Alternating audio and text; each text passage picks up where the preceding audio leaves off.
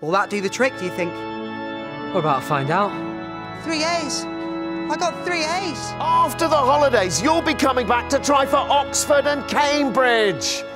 Your A level results are the best we've ever had. Bien fait, mes enfants, bien fait.